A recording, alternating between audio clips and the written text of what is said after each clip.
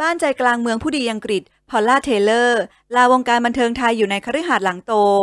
ลูกดกแค่ไหนก็มี 100 ล้านคอยเลี้ยงดู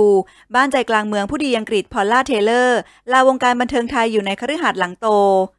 ต้องบอกเลยค่ะว่ามันไม่ง่ายเลยกับการเป็นแม่คน และสาวพอลล่าเทย์เลอร์ก็มีลูกถึง 3 คน ความเหนื่อยคงไม่ต้องพูดถึง แต่การดูแลลูกมันก็คือความสุขของคนเป็นแม่เนอะเป็นคุณแม่ที่น่ารัก แถมลูกดก แถมลูกๆหน้าตาดีทุกคน ลูกทั้ง3คนคือน้องไลลา น้องลูก้า และน้องเอลล่า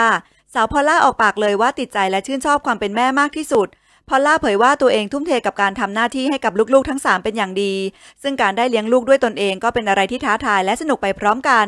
โดยพอลล่าเทเลอร์ได้เผยว่าถึงแม้จะย้ายไปอยู่ทางโน้น แต่ก็ยังคงคิดถึงทุกอย่างของที่นี่เสมอ หากมีเวลาก็จะบินกลับมาบ่อยๆ ส่วนเรื่องลูกทั้ง 3 คน ไลลา ลูก้า และลูเอล่า ถ้าทั้ง 3 เริ่มโตขึ้น ขอเวลาอีกหนึ่งปีมีแพลนมีคนที่ 4 ต่อแน่นอน เนื่องจากเธอติดใจกับบทบาทของความเป็นแม่มาก ส่วนเรื่องผลงานในวงการบันเทิงแฟนคลับคงต้องลุ้นกันยาวๆเลยค่ะ เพราะเจ้าตัวยังไม่มีแพลนจะรับงานในวงการบันเทิงตอนนี้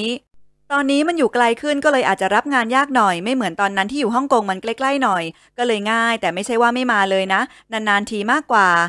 ซึ่งโดยก่อนหน้านี้มีข่าวนาวินต้า ดร.นาวินเยาวพลกุล และภรรยาไฮโซน้ำหวานพัสวี เตรียมตัวควักกระเป๋าซื้อบ้านมูลค่า 100 ล้านบาท ซึ่งทำเลที่ตั้งอยู่หลังห้างแฮร์รอดส์ใจกลางกรุงลอนดอน และบ้านหลังที่จะซื้อนั้นเป็นบริเวณใกล้เคียงกับบ้านของดาราสาวพอลล่าเทย์เลอร์ ที่พักงานวงการบันเทิงหลังแต่งงาน เพื่อตามสามีไปอยู่ต่างประเทศทำให้ทั้งสองครอบครัวค่อนข้างสนิทสนมกัน และดูเหมือนชีวิตคู่ครั้งนี้ของสาวพอลล่ามีความสุขในทุกๆ ด้านมีแต่เรื่องดีๆเข้ามาในชีวิต วันนี้เราเลยจะพาทุกท่านไปส่องมุมภายในภายนอกบ้านของพอลล่า ที่ใช้ชีวิตอยู่ในปัจจุบันนี้ ขอบอกเลยค่ะว่าหรูหราน่าอยู่มาก ซึ่งบ้านของสาวพอลล่าเป็นบ้านสองชั้นสไตล์อังกฤษ ภายในตกแต่งแบบสบายตา แถมรอบๆบ้านยังมีสนามหญ้าให้ลูกๆ ได้คอยวิ่งเล่นนั่งเล่นอีก บรรยากาศอบอุ่นสุดๆไปเลย